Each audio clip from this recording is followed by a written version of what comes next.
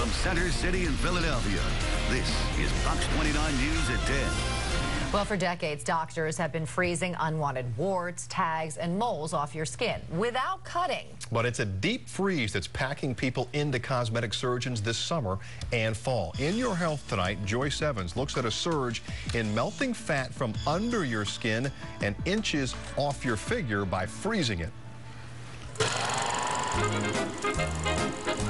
The problem is age old. And try as you might. Oh man, too much. After two kids, it's definitely my middle. My stomach. Woo, stubborn, small pockets of fat hang on. Right here. It's always an issue no matter what I do. I definitely get rid of my belly there. Ugh, it's nasty. It's like jello. You just can't seem to burn it away. A little bit of cellulite on my thighs. It refuses to leave. It, it found a home and it doesn't want to go. Numerous cosmetic procedures can handle that, but... I don't want anesthesia. I don't want to be cut. And you don't want to be laid up. I don't have time to waste. Don't need to. These ads say... The treated fat cells won't come back. Deep freeze that fat away. And I was like, what is that? Oh, it's a gel pad. It kind of protects the skin, allows the suction to really kind of latch on so that the cooling will affect the fat layer underneath and not the skin. It sucks in a section at a time, real snug, like a vacuum cleaner, and puts a freeze on it for one hour. It feels like a very mild suction. How you feeling? I'm feeling cool. It's a little cool, but it's not uncomfortable. Because fat cells freeze and die quicker, doctors say no damage is caused to other tissue, muscles, and skin. The fat, now frozen like a stick of butter, then gradually and naturally melts its way out of your body. Sounds like science fiction, right? But the cool science behind this year's hottest fat reduction treatment is actually nothing new, says laser expert and dermatologist Dr. Eric Bernstein. As dermatologists, we knew that babies who have a lot of unsaturated fat could actually lose areas of fat in their cheek from a popsicle.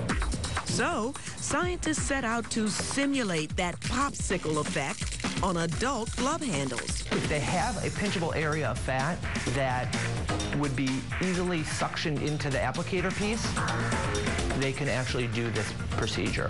Kate and Flory volunteered to be models at an open house at Mainline Laser Surgery, one of many doctor's offices and medical spas now offering demonstrations of CoolSculpting. People lose approximately 20 to 25% of the fat in the treated areas.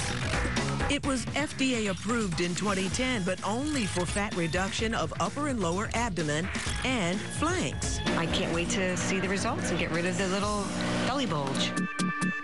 Availability exploded this summer when smaller attachments made treating areas like back fat and inner thighs possible. It's not FDA cleared yet uh, for treating inner thighs, but lots of docs are doing it, including us, uh, and people are really happy with the results. I'm really excited to see if it, uh, if it works for me. Plastic and reconstructive surgeon Jason Bloom actually tried out CoolSculpting on himself first. And in fact, I've seen probably about a 25% um, reduction in my uh, lower abdomen. He lost one full pant size, and he says he's game to get more because this technology may have more tricks in its bag. I think down the line, um, some additional areas of treatment could be uh, the saddlebags and the outer thighs, possibly the, um, the arm fat. And the results, well, we'll see. We'll see in three to six months if Kate and Flory get the results they want. Doctors do caution people, though, this is not a quick way to lose a lot of weight. It's just for sculpting away stubborn fat. Also, the device cannot be used over scars, like from a surgery.